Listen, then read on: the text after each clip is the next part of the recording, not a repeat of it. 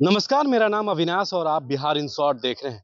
One nation one election की बात जिस तरीके से लोकसभा में संसद सत्र बुलाने की बात कही जा रही है और वन नेशन वन इलेक्शन को लेकर अब देश और बिहार की राजनीति भी गर्म होते जा रही है। आपको बता दें इस वक्त हम राबरी आवास के पास खड़े हैं जहाँ पर बिहार के मुख्यमंत्री नीतीश कुमार आपको तस्वीर में आ, के माध्यम से आपको दिखा रहे हैं बिहार के मुख्यमंत्री नीतीश कुमार लालू प्रसाद यादव से मिलने पहुँचे हैं।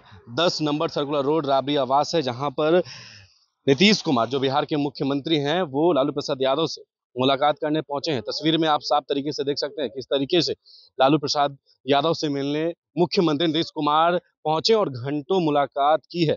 मुलाकात इसलिए हो रहा है क्योंकि जिस तरीके से वन नेशन, वन इलेक्शन की बात सामने निकल कर आ रही है, उसको लेकर अब सियासत जो है काफ़ी तुल पकड़ रही है। आपको आपको बता दें जिस तरीके से अब एक राष्ट्र और एक चुनाव होगा, उसको लेकर भी जो है गर्माहट है और जब लोकसभा और विधानसभा चुनाव अगर एक साथ होता है तो क्या स्ट्रेटेजी होगा? उसको लेकर बिहार के मुख्यमंत्री नीतीश कुमार, लालू प्रसाद यादव, यानी दस सर्कुलर रोड राबरी आवास पे उनसे मुलाकात करने पहुँचे। घंटों मुलाकात हुई।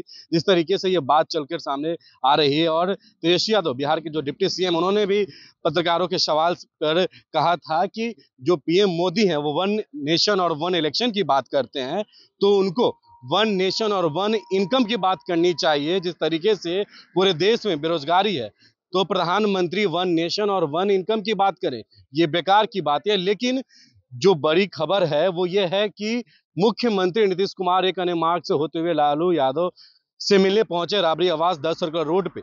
वहीं से हम आपको जो है, ये न्यूज़ साझा कर रहे हो तस्वीर आपने देखा होगा जिस तरीके से मुख्यमंत्री नीतीश कुमार लालू प्रसाद यादव से मिलने पहुँचे। उसके बाद यहाँ से उनका जो है काफिला निकला है और ये जो रणनीति कैसे होगा, क्योंकि ये विषय बड़ा है वन नेशन वन इलेक्शन को लेकर।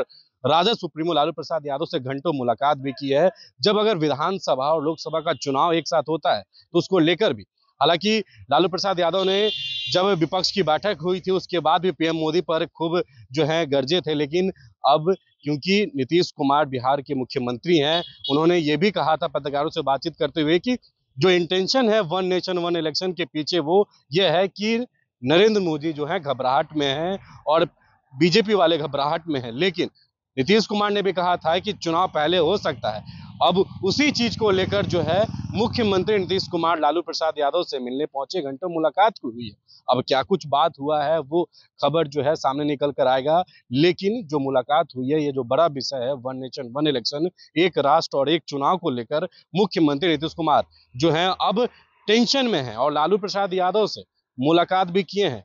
नीतीश कुमार कल ही जो है मुंबई की जो बैठक हुई थी अपोजिशन की, वो इंडिया की मीटिंग हुई थी, उसके बाद यहाँ पहुँचे और आज सुबह सुबह ही लालू प्रसाद यादव से एक अन्य मार्ग से निकलते हुए राबड़ी आवास पर पहुँचे हैं। लालू प्रसाद यादव से बात की है, जिस तरीके से अब चर्चाएँ जो हैं काफ़ी तेज हो रही है, उसको लेकर भी बात होगी और अगर विधानसभा, लोकसभा चुनाव जो है एक साथ होता है तो क्या उसके लिए स्ट्रेटेजी बनाया जाएगा, उसको लेकर नीतीश कुमार, खुद लालू प्रसाद यादव से मिलने उनके आवास पर पहुँचे हैं और घंटों तक जो है, घंटों देर तक है, मुलाकात हुई है। उसके बाद नीतीश कुमार का काफिला जो है, यहाँ से निकला है। अब देखना होगा जो है, क्या कुछ बात सामने निकल कर आ रहा है, क्योंकि जिस तरीके से जो चर्चाएँ जो काफ़ी तेज हो रही है, हालाँकि तेजस्वी यादव ने इसको बेकार बताया है, लेकिन अगर चुनाव होती है एक बार तो क्या कुछ होगा वो देखने लायक होगा। इस खबर में फ़िलहाल इतना ही है। वीडियो हमारे यूट्यूब चैनल पर देख रहे हैं तो ज़रूर सब्सक्राइब करिएगा। हमारे फेसबुक पेज को भी फॉलो करिएगा। आपका बहुत बहुत धन्यवाद।